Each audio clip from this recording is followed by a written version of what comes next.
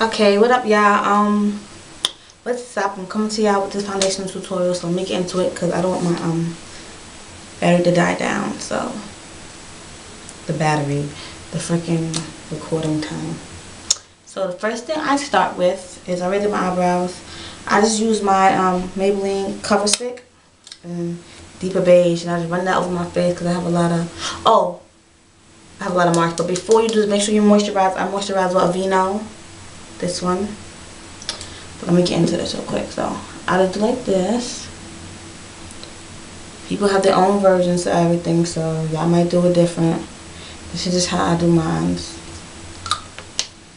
And then I just um put this with my finger and blend it out. And the reason I do this is because I just want to um get some um, I got a lot of marks. Like I, have, I used to have a lot like acne, so I use this just to get rid of them a little bit. Okay, so it doesn't have to be me because I'm going to go over foundation. Okay, like that. So the foundation I use is Revlon Color Stay in Caramel.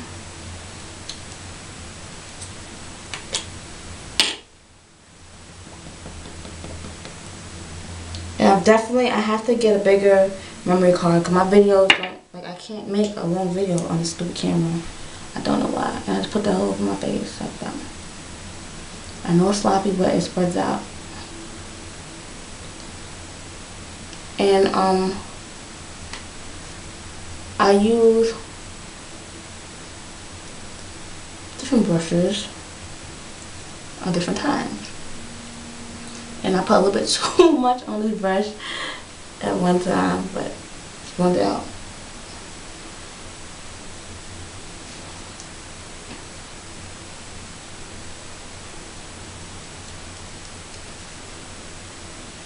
And I'm doing this really quick, like so quick. Oh, the camera, I have to get a, better memory card. I don't even know upload this crap, guys. Now I gotta do my forehead.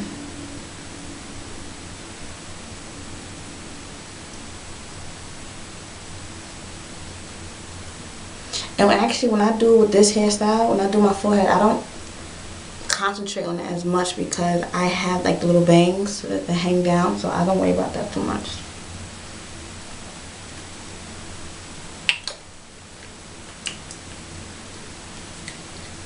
And then I take a stippling brush, this is from Coastal Scents, I'm pretty sure it's dirty, sorry y'all, and I it out a little bit better. Ooh, that's my brow. Oh. And this is not even a good coverage like I would like, but okay? I don't think I see it so far so my next step is this concealer and it's MAC Studio Finish Concealer in NW40 it's a tad bit just a tad bit lighter than my complexion. And I just take that a good bit and put it under my eye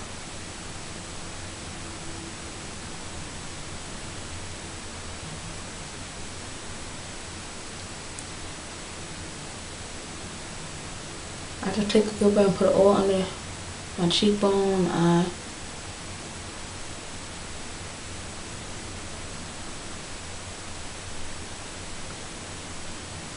It'll all come together end. I know it looks messy now, but it will come together.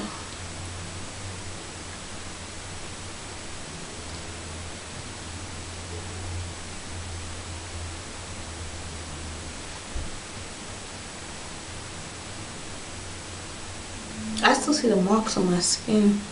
Mm, I need to drink some water.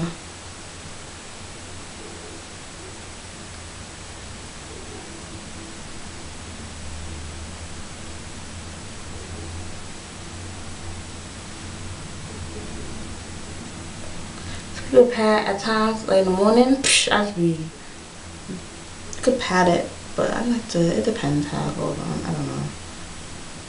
Look up and just get under my eye good.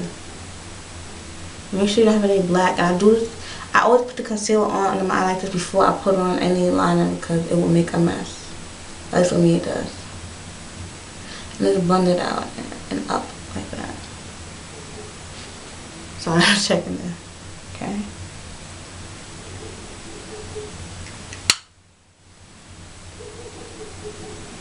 And then I put powders.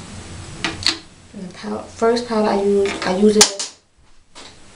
I use the first powder with my 109 brush, and that powder is this CoverGirl powder, and I know it's really light, but it's light for a reason for my highlight, so I'm gonna do that. So I'm just gonna take it, 109 like this, and just and just pat it up again.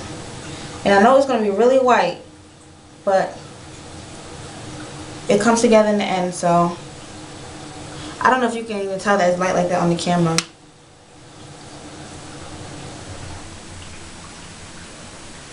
And what I'm doing I don't really well I do try to keep it neat but I swirl it and this was like I don't know how much this color this little powder was honestly. It a long time ago. But it's not expensive of course it's CoverGirl and I just put placed on top of the concealer. Well, the concealer, the lighter concealer, I put it. So when I put my other powders and everything, they all blend together nicely. What I this is like a foundation. I mean, I wouldn't call it as natural as I can do it, but when I want to look really, really natural and really look like I'm not really wearing makeup, I just put the concealer on in my foundation. And I don't put powder over the concealer part. I'll put powder over the foundation part. So now I'm going to take this brush. I'm taking my um Elf, yeah, Elf. I forgot how the brush is called. I forgot what they call it, but it's by Elf. Oh, complexion brush. Sorry, it says on the handle. And I'm just going to take it, we're doing like this. And put that on. Right. Now on top of the Powder, of white, of course, but you know, y'all not stupid. And I just... Now, I always realize when I do my makeup in the bathroom, I don't like how it comes out in the bathroom. But when I get like to another mirror, it looks better to me. And I think that's because the lights in here, how they are. I really just don't like how makes my makeup look.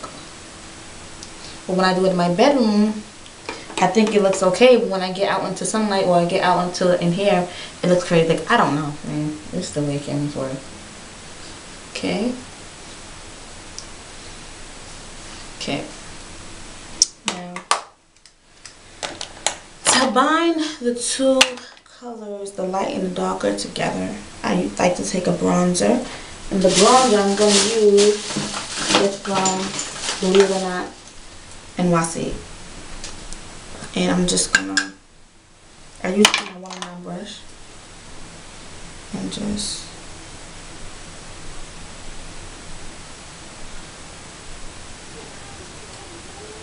do this make a fish face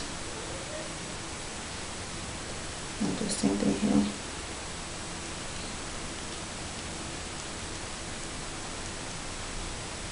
Okay and to me, bronzer makes a difference. It does. And sometimes what I do is put my eyeliner on and my lipstick and wear my makeup like this. Nice and really calm my, my mascara, all that stuff.